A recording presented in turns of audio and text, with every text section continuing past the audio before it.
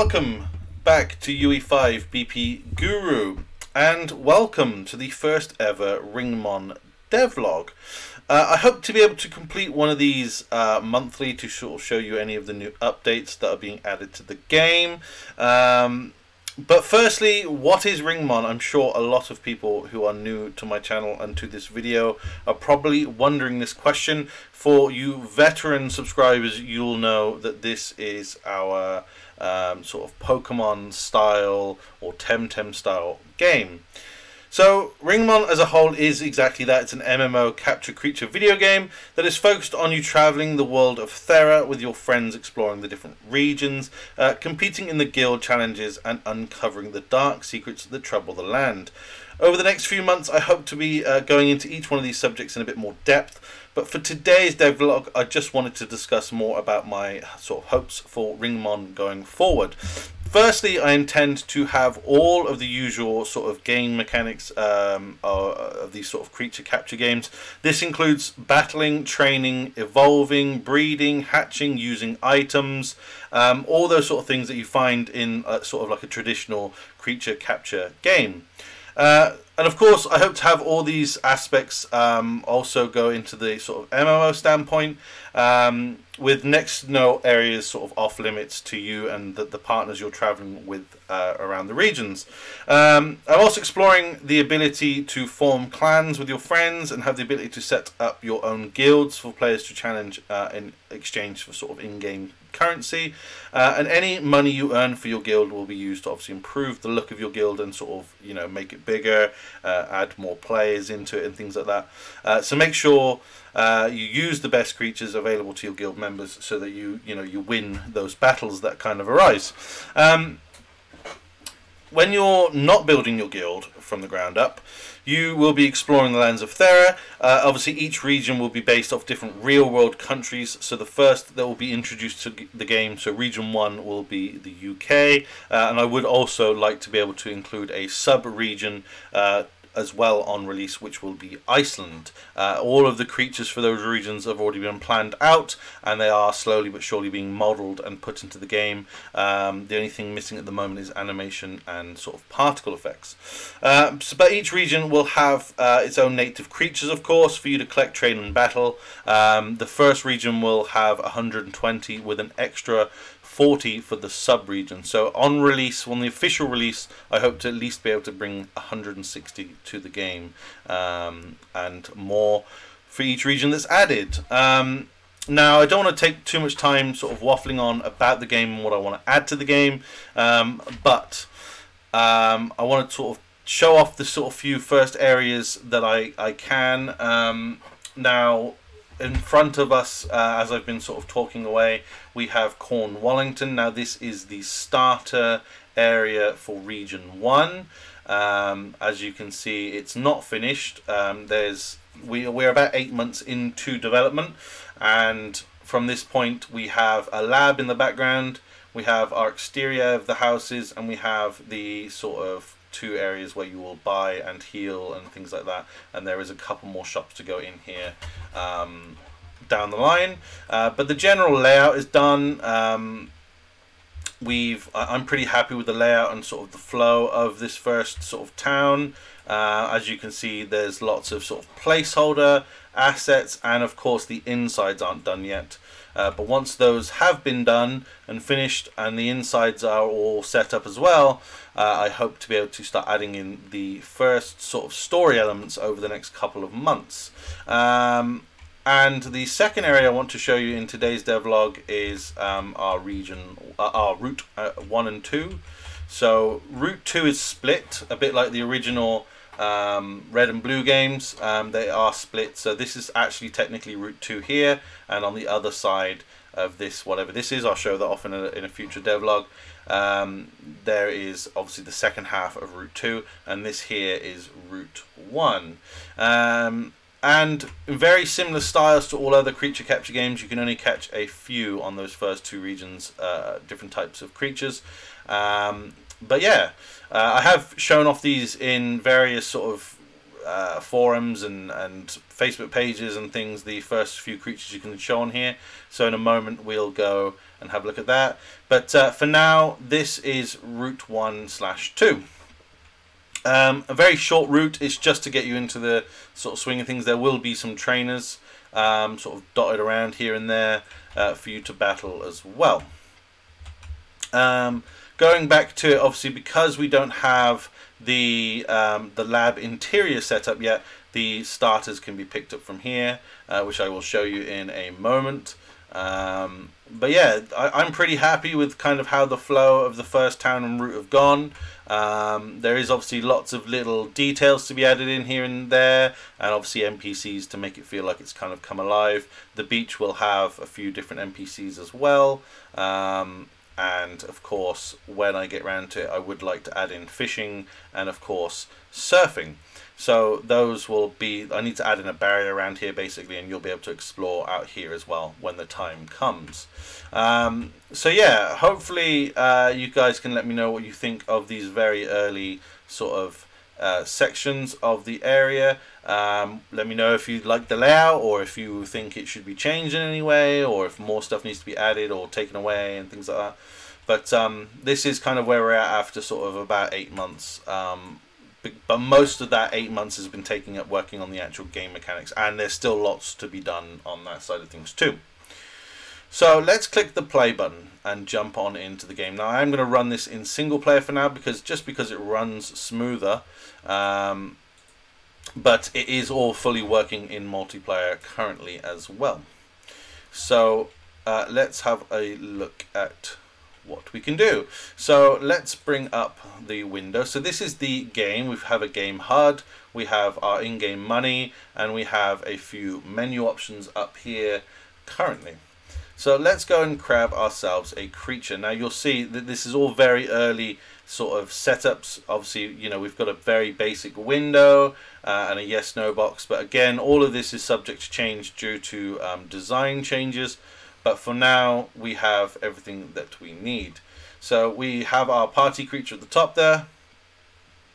And we can bring down a menu here that shows us a little bit more information about our creatures we do have a move select so we can swap in and out moves so you're not kind of constrained to the four that you choose your creature to have. So for example I can even take out moves now even though I only have three. So if I was like I really don't want tail wag I can take tail wag out if I want to but I can put it back in as well uh, if it will let me. There we go. Uh, and we can obviously of course move him into other slots if we need to. Um, there we go. Um, this will have rendered targets in as well into these little squares. So eventually you will see um, your creatures as you select them. Uh, of course we have our Ringdex up and running so that you can now go out into the world already and start filling up your Ringdex with all the creatures you come across on your journey. Of course, we still need to add in the little bit of detail from the Ringdex, so things like its entry information um, and sort of all the other generic information like heights and weights and um, index numbers and things like that need to go in here as well. So that's all set up though, it's just obviously this little bit here that needs to be done, but that's the easy part um, when it comes down to it. And of course in the party the same thing over here, we also need to add in a few little bits of information, like if it's, uh, if it's a shiny or um, all that sort of other stuff you need to add in. Um, but and we also I also want to add in a little bit of stat information here as well so you can see its uh, IVs and EVs and things like that as well. So a few little bits to be done on that side of things, um, but nothing that actually is too tasking. It's mainly just actually getting around to doing it. Um, but other than that, it is working. I've set this up so it's more um, user friendly with an MMO.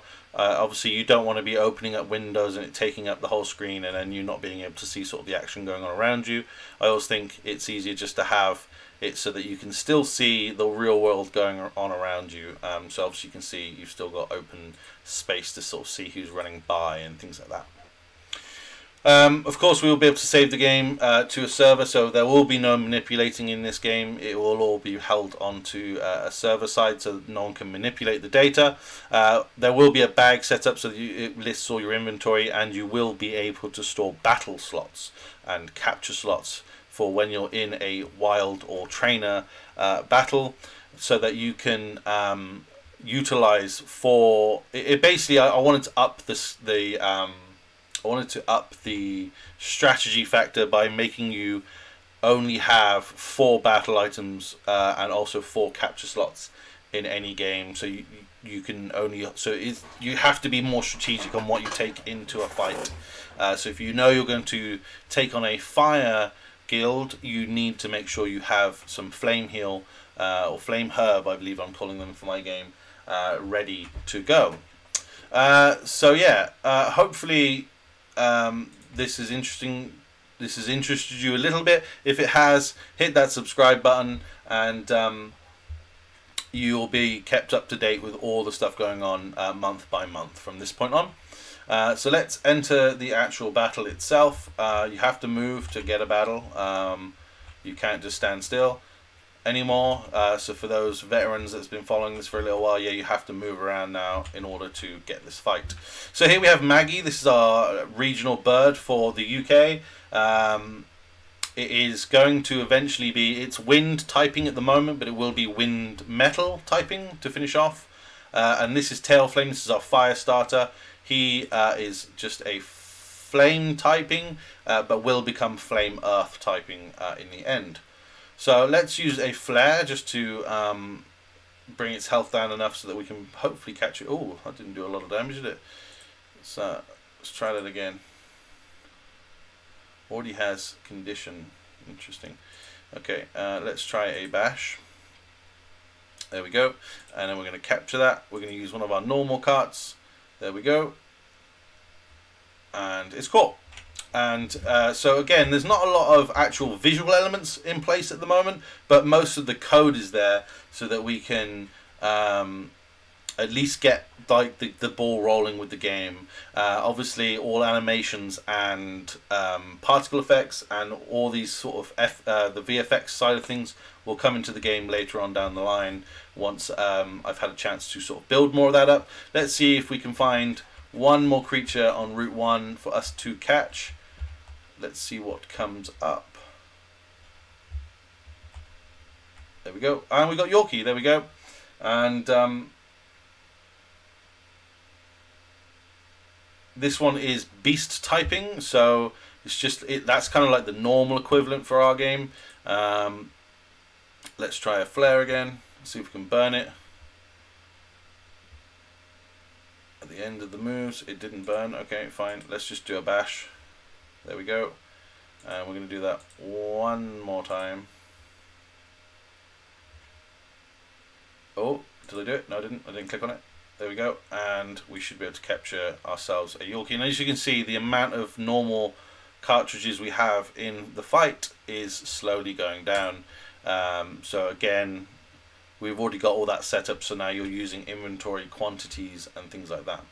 So we now have a Yorkie and a Maggie and we have Tailflame. So if we go into our party, we can see all of those in there now and their levels, how much XP we've got, um, and things like that. Eventually, as I say, we'll be able to do it so that we can see all the different stats it has and swap in and out moves and things like that. Uh, as you can see, they've got Peck, um, we've got Bark and Bash at the moment. So as we level up, we'll gain more moves and things like that as well. So uh, we can also move these around now um, freely. We also have, if we close that down now, this is a temporary button implement. Obviously, I will add it so that you have to go to a location to put creatures back in your box. Um, but if we take Yorkie, we put him into our kind of into our hand, if you will, and then we plonk him into the box. And we can swap him out for Maggie and put Maggie in the box if we'd rather. And at the moment we have three boxes, but that will uh, increase uh, before the release of the game. So let's pop uh, Maggie back in there and uh, we can close it down and that's done. Um, the only other thing I need to add for the storage boxes is just um, when we close the box down once it's in a fixed location if there's something in that stored value it gets just added back into um, the the boxes. But uh, yeah it's looking pretty good so far. I'm really happy with the progress. Hopefully you guys uh, are a little bit excited for it. Uh, hopefully it's piqued your interests. Uh, if it has uh, hit that subscribe button. Uh, I will be doing monthly dev um, sort of updates on this game. So hopefully, every, each time you come back every month, you'll see almost a totally different game um, and uh, a, a, much more fleshed out game month on month. So um, yeah, thank you so much, guys, for watching, and I will see you next time. Much love. Take care. Bye.